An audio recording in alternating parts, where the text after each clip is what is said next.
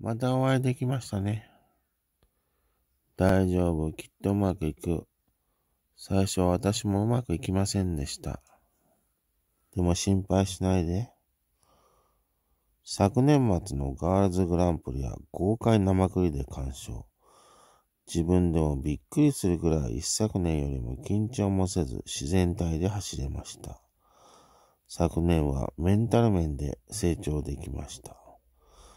3連覇の重圧を跳ねのけるほどの精神面の進化が最大の勝因です。